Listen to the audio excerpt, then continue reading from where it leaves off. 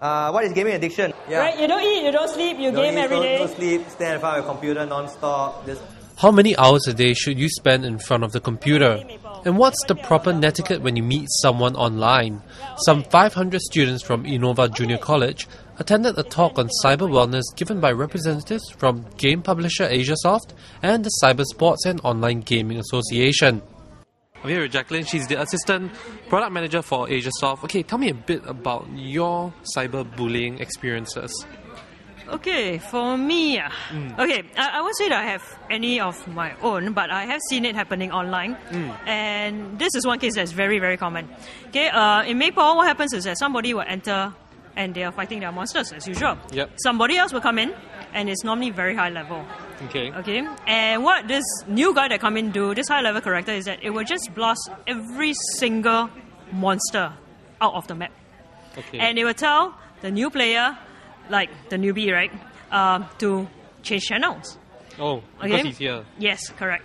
And the new player sometimes will go things like, uh, you don't own Maple Story, well, why should I choose change Yeah. channel? No kind of thing. And what happens after that is this higher level character normally has already formed a guild. Yeah. So what they do is that they get the rest of the guild members to come in and make life really difficult for a new player. Ah, okay. Then how's the language like on Maple?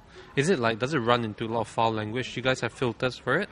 Oh, we definitely have filters for it. Um, total filters, you can't say foul language at all. It just Yeah. comes out as lots of X's or other gibberish kind of thing. We just want the whole environment, everybody to enjoy themselves Yeah. in the game without having been harassed in any way. So uh, if the cyberbullying part get really bad and we get a lot of complaints of one certain particular player, we actually can ban that person. Cool. The talk focused on cyber wellness as related to the gaming industry, particularly responsible gaming, cyberbullying, internet security, and embarking on a career in gaming.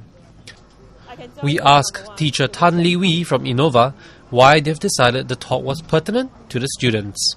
Because we feel that nowadays, like almost everybody of or maybe all our students are going online, mm. so they need to be aware of the dangers or potential dangers that they can face, which is why we have this cyber wellness program. And the other reason is also because it's like from secondary school, there was this program from MOE, and secondary school students they have to go through a cyber wellness program. Mm. So we thought that it's actually a good follow up from there mm. because the dangers are still there, and we want them to be aware, but maybe something of a higher level. Okay, what's cyber wellness to you?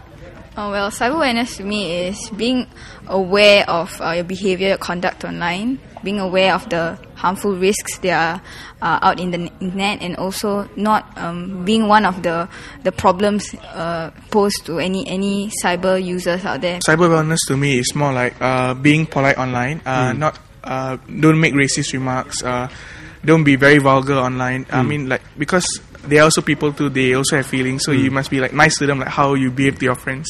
Oh yeah. What's your worst online experience? Uh, I don't have a worse online experience, but uh, one instance is actually my sister. She she loves to blog, like and surf blogs and all that shit.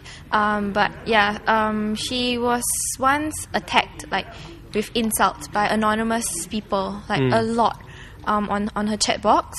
But what did what did she blog about that was so like uh, so deserving of insults and all that? She actually didn't. It when um in the end we found out it's actually her classmates, uh, which actually her schoolmates. Um, they did not like like the way she is, right? So they just started spamming her. If in any one case, if you get like uh, if your cyber wellness is compromised during one day when you're online, how what would you do? What's your first steps that you take? Uh, firstly, I would try to ignore it, uh, mm. like try not to aggravate the situation. But if it really gets very bad, then most probably I'll, I'll, I'll report it to a higher authority, maybe my teacher and everything, mm. so they would know what to do. Uh.